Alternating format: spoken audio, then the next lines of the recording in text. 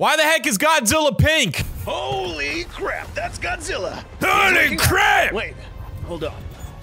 Hold Yeah. on, is that pink? Who said Godzilla can turn pink? They put him Yeah, on man. diet? He can run now? Don't worry. I don't feel like that's. We I feel like that's Godzilla's daughter. Oh my gosh, that might be Godzilla's daughter, bro. This episode will not only give possible reasons why the G-Man changed colors in the new film Godzilla I don't think- maybe that's not Godzilla, Empire, bro. But also provide a breakdown of what else Godzilla will be able to do with this new form. But before we start, don't forget to All give right. us a like and subscribe. I already liked the video, baby. Let's Godzilla will go! Step on your house. Oh yeah, Just kidding. That's begin, terrifying. let's address the elephant in the room and talk about why pink.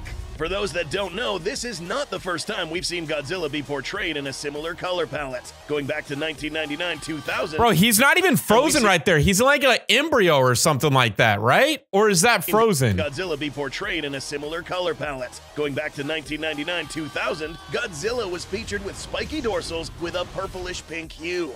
Oh, yeah. Additionally, this animal featured spikier skin as well as sharp, jagged dorsal plates. These subtle purple and pink hues can also be seen if we go back in time to 1994, where we see Space Godzilla's crystallized Yep. formations contain these hues. Almost 30 years later, Godzilla will revisit this color palette in Godzilla Kong. But Yeah, this but why? exactly why the G-Man is pink here. Now, before we begin to dish out theories, we'll drop a disclaimer here and state that the material mentioned in this episode is pure speculation and should not be considered canon to the MonsterVerse unless proven true after GXK is released. All right, the best dude. clues we have as to why Godzilla turned pink can be found here. You can't miss it. Pink hues embedded in the ice can be clearly Yeah, okay, you can see the pink Godzilla hues. frozen in the ice, evolving into a more powerful form. As per IGN's article released before the trailer, this pink coloration, or better described as magenta hued energy, is something that is not newly introduced in this film. It's evolved? Yes, we see a vast amount of pink colored crystals in Hollow Earth caves, and we were introduced to plenty of pink colored crystal structures in the trailer. But if we go back in time to the events of Godzilla vs. Kong, we'll notice an interesting detail. In this clip where Nathan Lind and company breached the Hollow Earth's veil leading into the vial You can see purple. We witnessed all sorts of coloration appear on the windshields of the HEAVs. These were most likely some visual of magnetic or energetic currents Ah, that I were see, okay. by the Hollow Earth exploration craft. This phenomenon also occurred in Monarch Legacy of Monsters. And what do we see here? Pink, indicating that this color Yeah, but why turn Godzilla pink, bro? Like it just doesn't make sense. coloration along with the blue color signature could be one of the several energy forms found down here. Keep in mind that this is science fiction, so not everything will align with the actual science. However, an interesting takeaway from this is that the color signatures or hues seen so far displayed by Hollow Earth phenomena closely resemble that of auroras. Ah. What are these? Ah, okay. These are light displays that happen as a result of disturbances to the Earth's magnetosphere caused by solar wind, which happens to be highly radioactive. And All one right. of the colors that is seen in an aurora spectrum happens to be pink. In addition to a few shades Bro, this this dude, come on, Goji Center. You are talking in circles right now, bro. of blue, What the heck? How- Why is he pink, bro? yellow, and orange, all which we've seen in legendary Godzilla. Other colors, such as the light greens, are also reflected in some of the Hollow Earth's crystals. How does all of this tie in together? Godzilla here could just be simply absorbing one of these forms of energy that already existed in the Hollow Earth. Okay, one which is there we go. to be a more powerful energy source. As a result, the G-Man's dorsal plates, which are responsible for expelling and storing this energy, will now reflect this pink hue. And not Wow. only that, something that always matches the color of these dorsals is Godzilla's atomic breath, Yo. which also happens to be, you guessed it, pink. Is he gonna be Or more powerful? Note how we haven't seen how this pink atomic breath reacts upon hitting the target, but it's likely that it will produce a different type of destructive damage. Is it hotter than the blue? Well, it's hard to tell. Ah, okay, Note okay. Blue-colored flames are one of the hottest, if not the hottest, in the temperature spectrum. Magenta Ah. isn't really found here at all. But looking at the RGB color spectrum, What we the- find that this color is the combination of red and blue, the hottest and the least hottest of these, making the Huh. effects of the new atomic ray a mystery. And Yeah, definitely maybe one of you know. Maybe you guys like study the, the atomic breaths. Is this a hot breath or not? grabs in this cinematic universe. So it may or may not be more powerful than Godzilla's blue atomic breath. Back to this clip, we find that this color is not exclusively found in crystals, but in forms of energy that take some sort of organic form as seen here. Yeah, that's what I was saying. like veins of some sort That's serving as that's what I was saying. It looks like an embryo. conduits for this energy. Yes, this stuff is probably an extremely strange form of energy that humanity doesn't understand.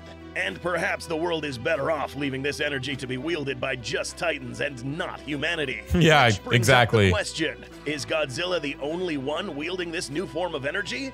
Our best guess, probably not. And Oh, lovely, why. dude. Lovely. Now that we kind of have a good theory of why Godzilla turned pink, we need to think of the purpose behind this evolution. Note that this said more powerful form is probably a response to something that happened before this evolved state. Yup. Before, Godzilla used to glow blue, wielding energy that was probably surpassed by another foe. That's right, something or someone caused Godzilla to go take a nap and evolve. Perhaps someone who is also wielding this power. Who? Oh. Well, it's common knowledge by now that Skar King isn't going to be the only big kaiju around here causing problems. Really? There is some cave art floating around, originally found in Call of Duty's Warzone Godzilla vs. Kong event, showcasing this creature, who was confirmed to be also appearing in Godzilla. What? Kong. This animal. Oh, we're gonna get new Titans in here, bro. That's sick. Proportions features what seems to be crystallized formations along its dorsal plates, possibly wielding an energy form that was able to best Godzilla's power, forcing the G-Man to then try to acquire this same energy to even things out. If Hmm. true, we are seeing Godzilla become more powerful out of necessity and not Ah, just because. okay. We'll cover this additional Titan in more depth in a future episode. Subscribe to not miss it. This new energy that we are introduced to did a lot more than just make Godzilla glow pink.